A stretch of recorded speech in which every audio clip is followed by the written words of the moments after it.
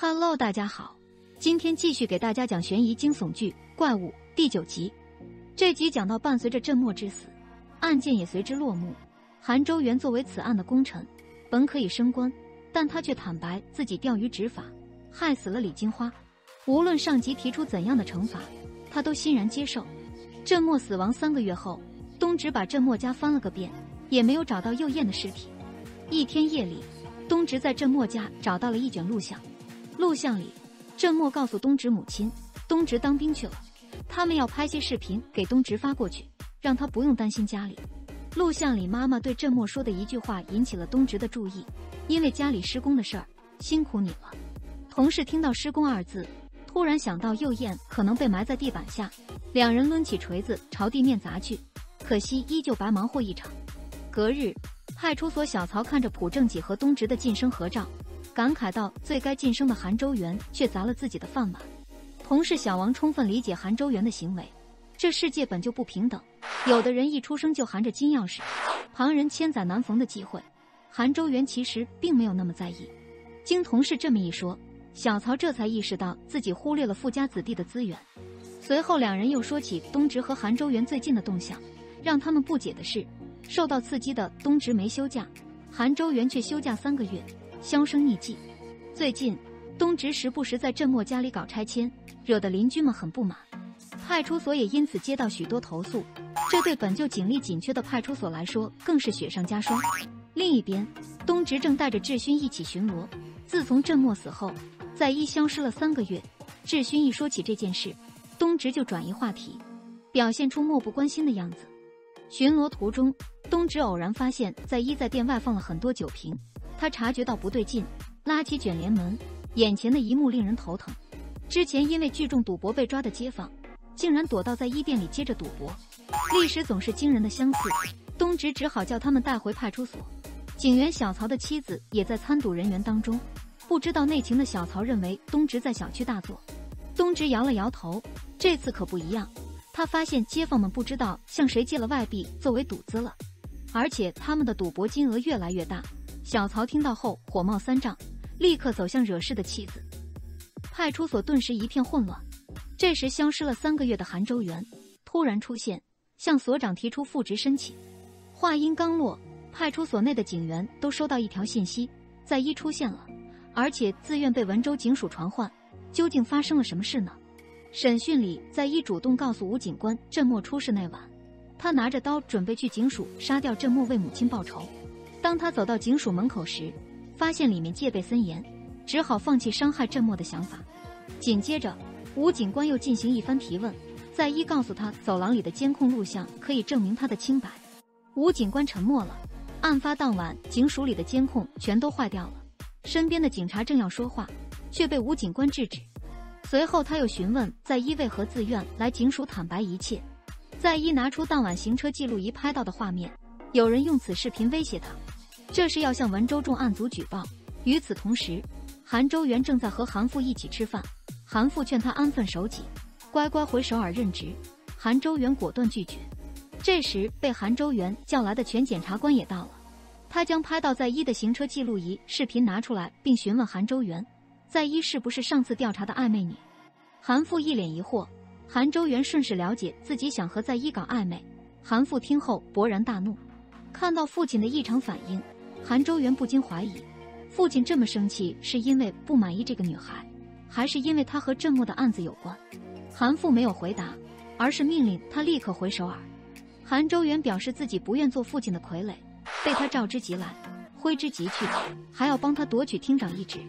以韩父的本领和手段，完全可以自己解决。另一边，东直众人来到在一店里，吴警官发现东直和朴正己眉来眼去。怀疑他们隐瞒了什么事，在一消失了三个月，这两人从没找过他。不仅如此，上次抓捕郑默的行动也是他们领先警察一步，甚至连所长也和他们是一伙的。在一向吴警官保证，他去警署的事没有其他人知道。说到这里，所长的表情怪怪的。吴警官想知道郑默是不是东直和在一联手杀死的。东直笑着说：“早知道郑默会死，他就提前动手了。”随后，东直带着吴警官和朴正己去看了那卷录像带，想听听他们的看法。这几天，东直一直待在郑墨家里寻找线索，可惜翻遍了所有地方也一无所获。朴正己调查了当年郑墨去工地干活的记录，发现他一直待在万阳。吴警官听到后有点生气，这两个老朋友又瞒着自己偷偷调查。东直表示自己很尊敬吴警官，也知道他在重案组待了十一年很不容易，所以东直希望他继续做个守法的好警察，不去碰这些事。一旁的朴正吉很是无奈，同样是警察，难道他不用守法吗？两人不约而同的点点头。玩笑过后。言归正传，众人突然想起他们上学时期，胡母曾担任学校理事长一职，私下里他一直把郑默当成下人对待。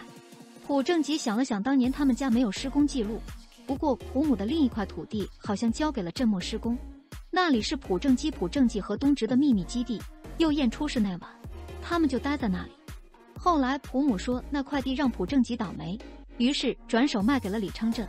翌日。派出所全体警员跑去那片土地上开挖，一向不合群的韩周元也来了。东直很好奇他回万阳的目的，韩周元不答反问：“你会不会自首？”当初东直说好会在破案后自首，后来却改变主意，又说自己无罪。东直猜想韩周元这次回来是为了抓他。韩周元笑了笑，没有回答。就在这时，智勋在店里挖出了一具骸骨。众人纷纷跑去查看情况，现场气氛突然紧张起来，因为在李昌镇所属的土地上发现了骸骨。吴警官审讯他，李昌镇指出警方没有搜查令，贸然闯入属于非法行为。这时，吴警官得到消息，就在刚才，警方又发现了一具骸骨。吴警官提醒李昌镇，如果不想出事的话，就允许他们搜查那块土地。李昌镇看着前妻严肃的表情，只好乖乖配合。紧接着，李昌镇收到普母发来的信息，那块土地搜出很多尸体。此刻，警方已经封锁现场。所长向搜查科同事询问情况，经过最初的肉眼判断，没有发现符合幼叶年龄的骸骨。更严谨的结果需要进一步检查才能知道。东直失落的离开了。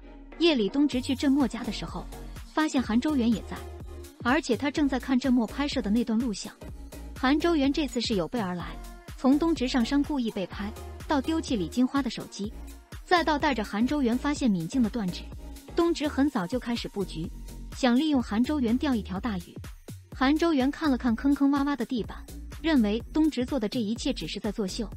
紧接着，韩周元指出郑墨出事那一晚，有人给他看了小美的死亡证明，又给了他鱼线用来自尽，偏偏这一晚警署的监控全都坏掉了。